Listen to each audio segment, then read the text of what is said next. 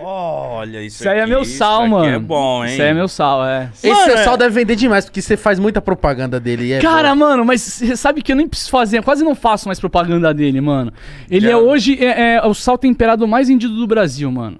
Que comprem. isso, onde, que, onde que a galera acha isso aqui? Sim, então, de- tem 10 mil pontos de venda no Brasil e no site da Empório Cantagalo. Cara, o sal com pimenta, mano, ele, ele, ele, ele vende sozinho, cara. Ele é muito foda.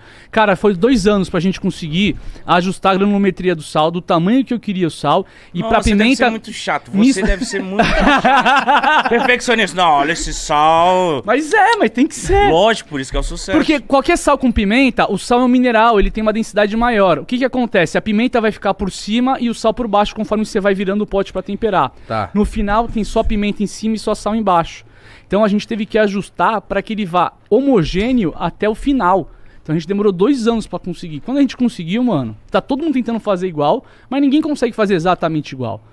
Porque tá você fica batendo na Porque tecla. é, é no detalhe pra ele ser perfeito, tá ligado? Mas agora. E não arde, não arde, só realça o sabor. Então, por exemplo, vou fazer o churrasco. O tempero é só o sal com pimenta e acabou. Já era, não precisa de mais nada. Você pode Ah, colocar é? antes ou Tem depois. gente que não, pera que eu sei fazer o tempero, faz um, aquele tempero amarelado e mergulha a carne e faz aquele monte de doideira. Não tem problema. É, cada um não faz tem o seu, problema, né? Não tem problema. Cara, churrasco, assim, além ah, do ato de comer carne, eu acho que isso é o, o ato de comer a carne é o de menos.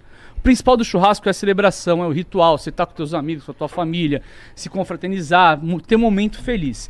O que faz esse seu momento ser feliz é o importante. Então, se pra você é fazer uma marinada, colocar cebola, fazer uma vinagrada, fazer o que for pra sua carne, vai te deixar feliz, vai te agradar, vai agradar os convidados, faz, saca? Não tem errado. Como diz um amigo meu, panhoca, não existe churrasco errado. Errado é não fazer churrasco.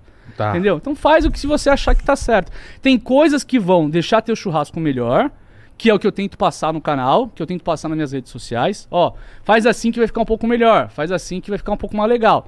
Mas não tem regra, se você não quiser fazer como eu faço, não tem problema, mano. Faz de outro jeito.